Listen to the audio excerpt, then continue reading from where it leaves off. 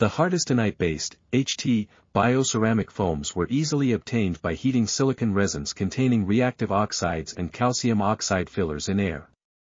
The calcium oxide fillers provided the necessary calcium content while the reactive oxides provided the strontium and magnesium content needed to form the hardystonite structure. This structure had superior biocompatibility and bioactivity properties compared to pure hardystonite. Additionally, proteolytic-resistant adhesive peptide was selectively grafted onto the foams using two different strategies.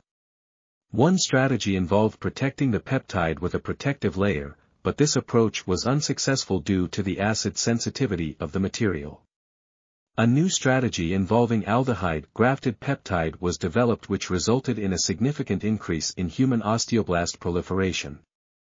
Furthermore, no cytotoxicity was observed from the aldehyde-grafted peptide. Finally, the functionalization process did not affect the cytotoxicity of the material. The functionalized foams exhibited increased expression of genes encoding bone.